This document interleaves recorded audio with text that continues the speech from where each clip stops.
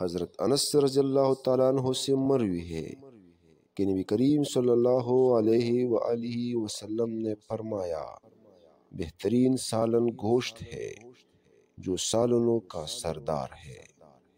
حضرت بریدہ رضی اللہ تعالیٰ عنہ سے مروی ہے کہ آپ صلی اللہ علیہ وآلہ وسلم نے فرمایا دنیا اور آخرت کے کانوں کا سردار گوشت ہے۔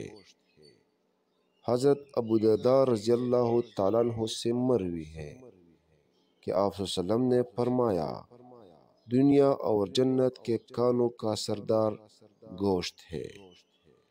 حضرت صحیب رضی اللہ تعالیٰ عنہ سے روایت ہے کہ آپ صلی اللہ علیہ وآلہ وسلم نے فرمایا دنیا اور آخرت کے کانوں کا سردار گوشت ہے، پھر چاول ہے اور دنیا اور آخرت میں مشروبات کا سردار پانی ہے۔